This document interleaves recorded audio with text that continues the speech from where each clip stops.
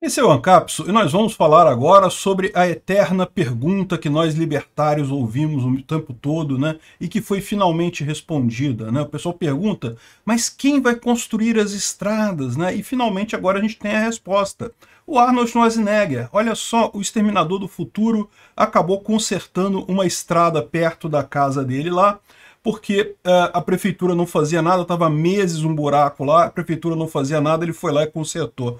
Vamos entender esse assunto? Essa notícia foi sugerida por Estação Verão, Faz o L Vem Se Lascar também e várias outras pessoas. Obrigado aí ao pessoal que sugeriu a notícia, obrigado a você que está assistindo o nosso vídeo. Se você gosta do nosso conteúdo, por favor, deixe o seu like e se inscreva aqui no canal, né?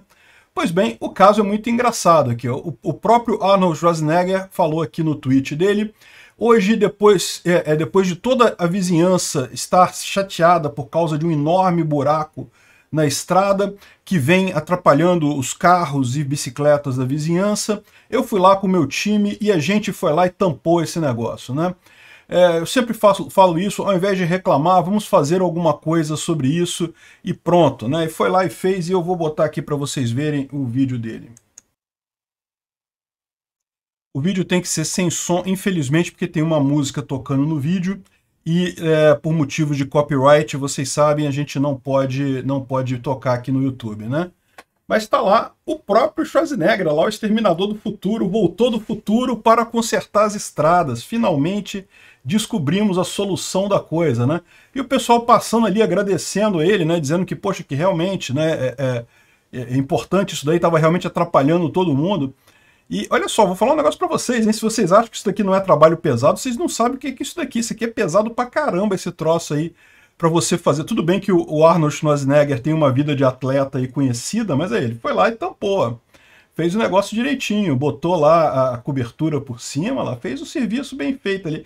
É lógico, né? Não é a mesma coisa que fazer com máquina apropriada, com aquele rolo compressor e coisa e tal. Mas no final das contas, aí, ó, tampou direitinho a coisa, né? Beleza.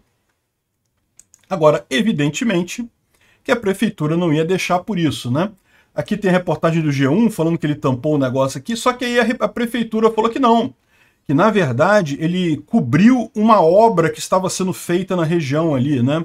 Ou seja, uma, uh, o que eles chamam de service trench, ou seja, um buraco de serviço. Eles estavam trabalhando naquela área ali, né? E é evidente que a prefeitura ia falar isso, mas aí você vê como é que a prefeitura culpa ele pelo erro que é dela, porque na verdade aquela, é, certamente aquilo estava abandonado há um tempão ali, né? A prefeitura começou a fazer um trabalho, não terminou nunca, a ponto do pessoal ir lá e cobrir o negócio porque estava incomodando todo mundo, né? a prefeitura vai dizer que não, mas a gente estava trabalhando, mas não tinha placa avisando que estava trabalhando, não tinha cobertura, não tinha um monte de coisa. O pessoal, todo mundo colocou aqui, ó, e, e, não tinha uma placa por cima, né? Porque normalmente quando você faz uma obra, você bota uma placa por cima para não atrapalhar o trânsito, né? Enfim, no final das contas, a prefeitura tentando justificar o porquê do buraco lá. Não, prefeitura, a gente sabe.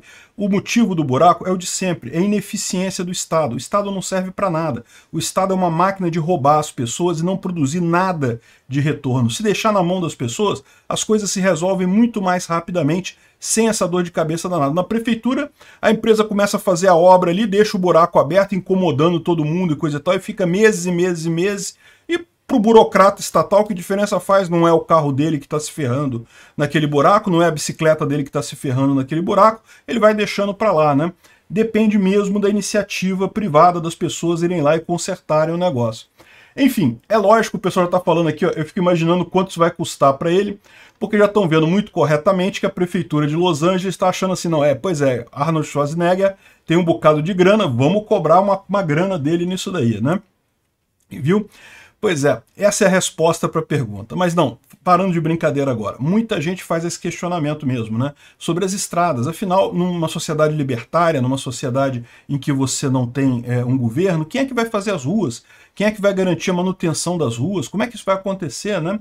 E, na verdade, é lógico, isso é uma besteira, porque, na verdade, isso já é feito por empresas privadas, na maior parte das vezes. A, a, a prefeitura simplesmente contrata empresas para construir estradas.